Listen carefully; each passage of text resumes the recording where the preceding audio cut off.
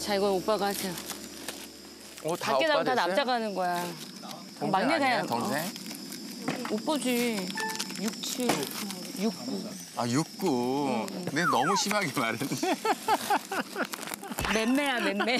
어, 나는 진짜 어제 아닌데 저거는 진짜 아닌데 몇 살이세요?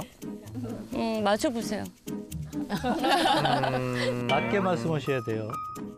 아니, 젊어, 아, 젊어 보이시기는 하는데 적어도 60 가까이 되셨어요. 저러면 안 되지. 야, 최악의 분위기가. 멘트예요, 최악의 멘트. 어, 그렇다.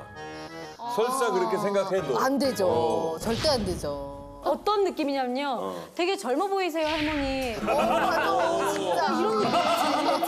안 돼. 음, 안 돼, 안 돼. 안 돼. 미제를 알려. 젊어, 젊어 보인다는 게 중요한 거지. 젊다는 게 수, 중요한 거지. 수습도 안 되는데 그만해.